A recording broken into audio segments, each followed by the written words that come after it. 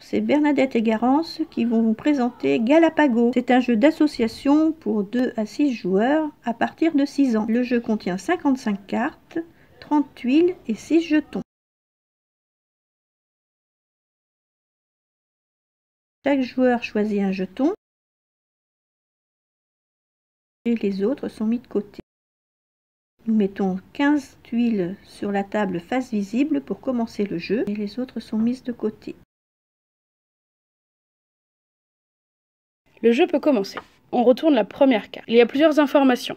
Il y a un crocodile et un cercle rouge. Cela signifie qu'il faut trouver une tuile qui ne contient pas de crocodile. On vérifie et on peut récupérer nos tuiles si on a bon.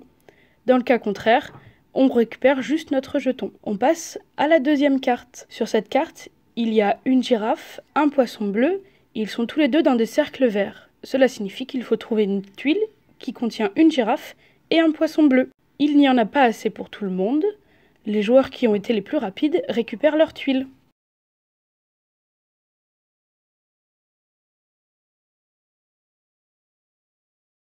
Le jeu continue. Sur cette carte, il y a des petits galets, ce qui signifie qu'elles demandent plus de réflexion et vous pouvez choisir de les écarter en début de partie.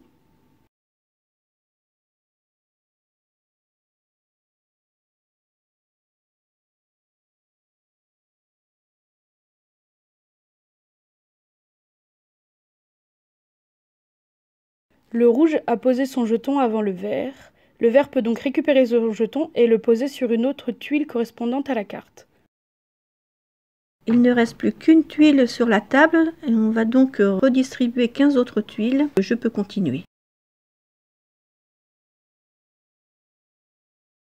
Carte spéciale, le signe moins. Il faut simplement dire lequel animal est le moins représenté sur la table et celle-ci le signe plus. À l'inverse, il faut dire quel animal est le plus représenté sur la table, toujours à voix haute. Le jeu se termine quand il ne reste plus qu'une ou aucune tuile sur la table. On compte alors chacun les tuiles qu'on a gagnées. Celui qui en a le plus l'emporte. En cas d'égalité, celui qui a le plus de poissons bleus gagne la partie.